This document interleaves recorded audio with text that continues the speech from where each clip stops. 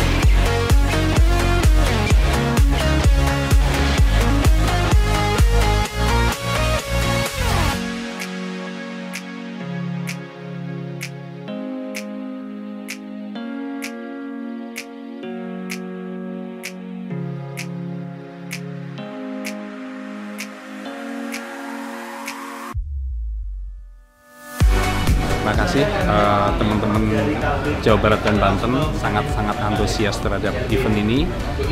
Event ini memang untuk tahun 2023 itu baru event pertama kali. Uh, saya harapkan untuk uh, satu tahun ke depan kita punya target minimal ada 3 sampai 4 event dalam satu tahun untuk wilayah Jawa Barat dan Banten.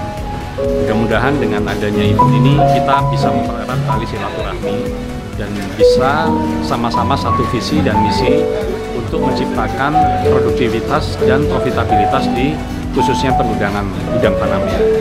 Sukses. Thank you.